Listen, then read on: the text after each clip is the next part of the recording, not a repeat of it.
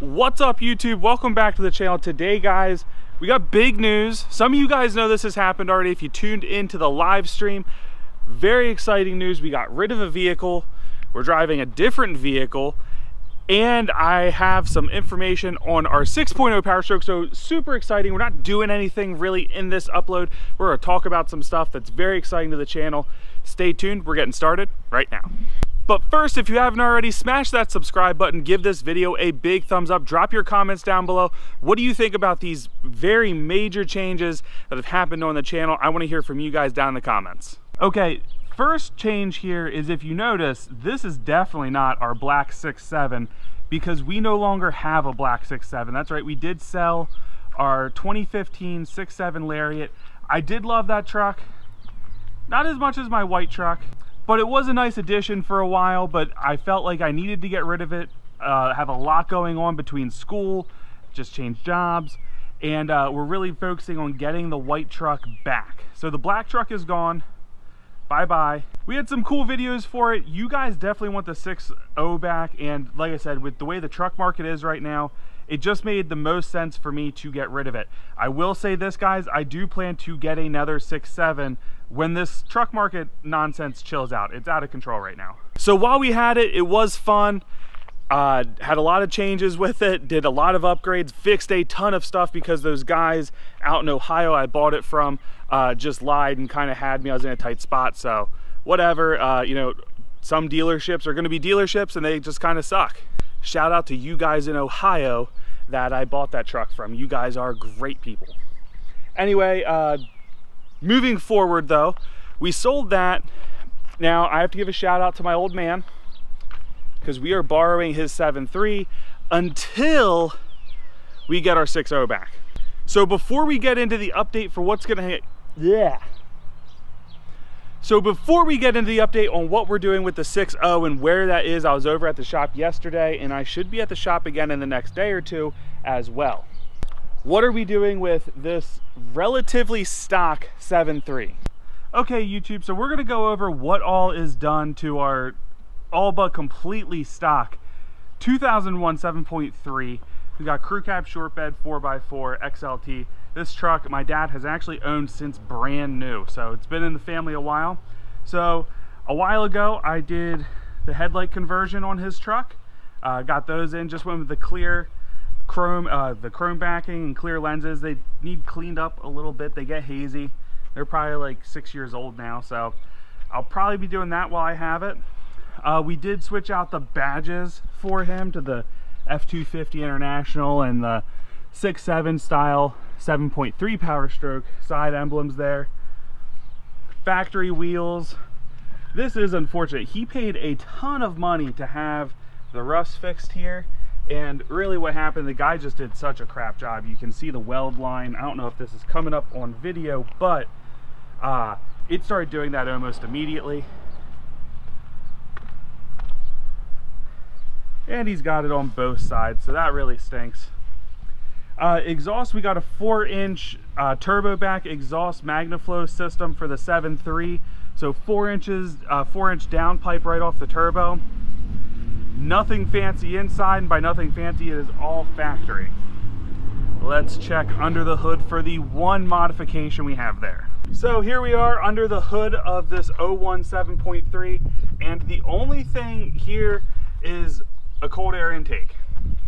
Now, this is a K&N that I got an S&B filter for for him, and you can see he's done a fantastic job of making sure that we keep this thing nice and clean because it's black. It's supposed to be red. That Yeah, that's supposed to be red. So I've already harassed him about that. So things we're gonna do to this truck while it's in our possession, kind of as like a little thank you for him letting me borrow this because I'll probably have this for several months, which will go into exactly why that is. Thank you, wait times on engines. We gotta take care of this. He needs a new filter, he needs a clean one. Um, anybody that waits for the, these uh, things to trip on your intakes being kind of goofy because they never trip this thing hasn't tripped and that filter clearly needs cleaned uh, or just replaced it's probably salvageable because they are high quality filters but we're gonna probably just get a new one and probably clean that one. Hopefully he does a better job in the future of not letting that crap happen. Next, we gotta clean these headlights up, so I'll probably get one of those kits and do a review.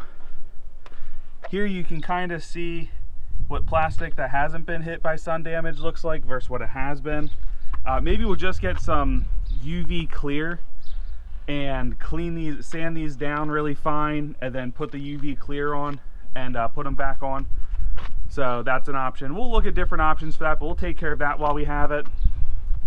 Uh, fog lights, probably do the same thing. I have headlight uh, bulbs and fog light bulbs for this, so we're actually going to replace these. They were going to go on the 6.7. When I decided to get rid of it, I didn't do it, so a company did send bulbs out to the channel, so we're going to do that review on this truck instead. Next, this grill needs to go. I hate this grill. In 99, this thing was awesome. Welcome to 2021, and I don't like it anymore. So we're not going crazy. We're not doing the Raptor grill. We have a truck with that. Josh has the 05 conversion grill on his that cuts like trims the bottom of the 05 grill. Looks super nice. Over in that garage, we have the original billet grill that came on my white truck. So the grill I took off forever ago. I actually really like the look of. I love the Raptor grill, but I did like the look of that. So we're gonna take the billet piece off of that. We're gonna sand that down, clean that up, throw a light coat of clear on it so hopefully it lasts a while. And then we're just gonna put that grill on here. Is it the coolest grill out there?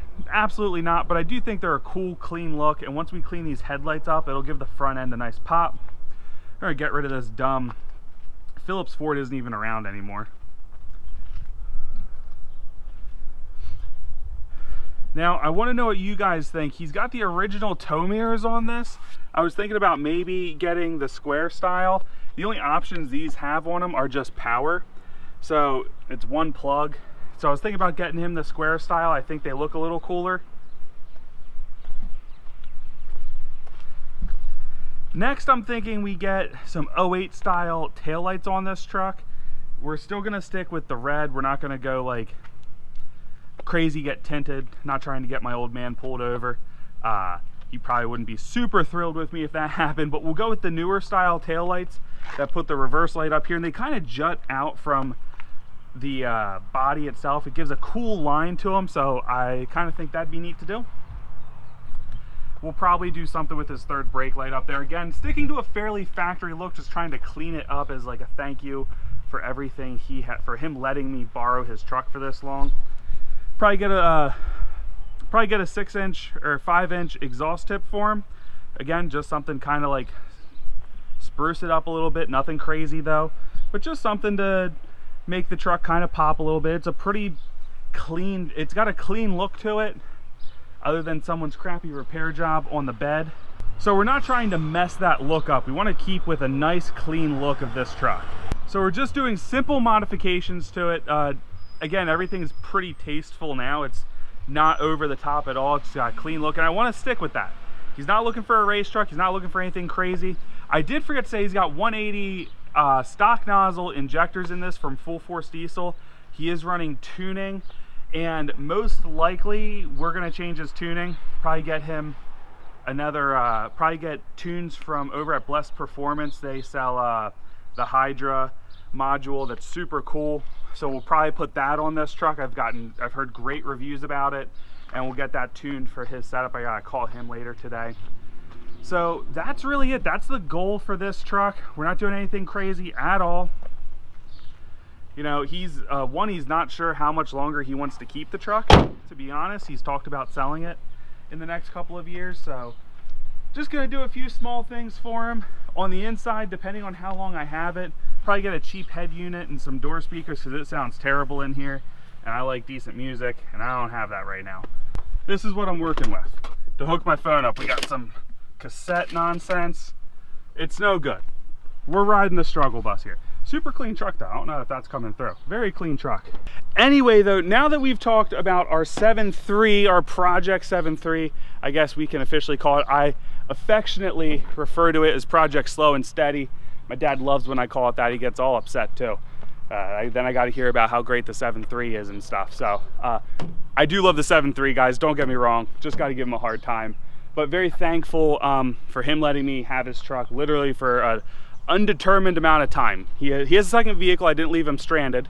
Now, I talked to Greg yesterday and he had told me that they were going to be pulling the cab on my 6.0 today.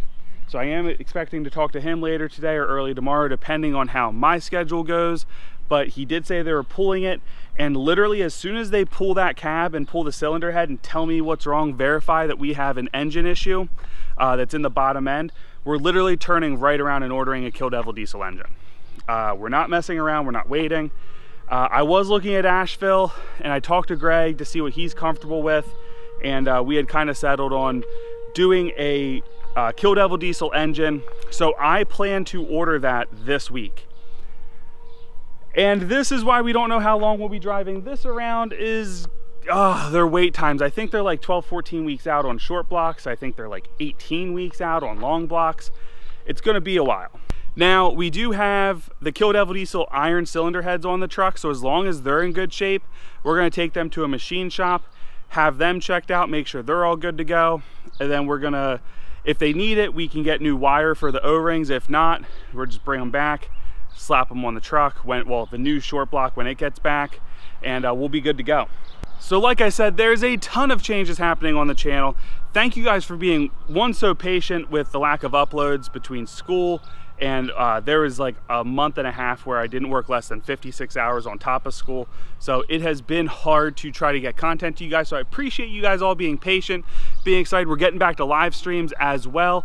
So like I said, we are keeping as busy as we can here on the channel. I hope you guys are enjoying that as I can get content out to you guys. I know this upload isn't super exciting, especially because you guys still don't see the truck you want to see but hey, we got a 7.3 on the channel. That's a good time. So anyway, guys, if you haven't already, hit that subscribe button. Give this video a big thumbs up. Drop your comments down below.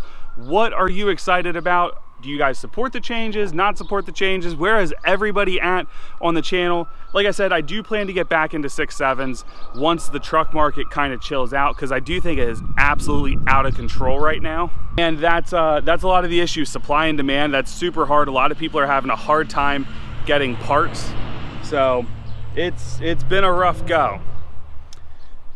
I don't know what, I think that's a 7.3 that just drove by and that kid drives by all the time. Uh, he'll drive by like six times a day. It's ridiculous. Anyway, YouTube, I look forward to reading your comments and what you guys think of everything going on. I'll see you in the next upload.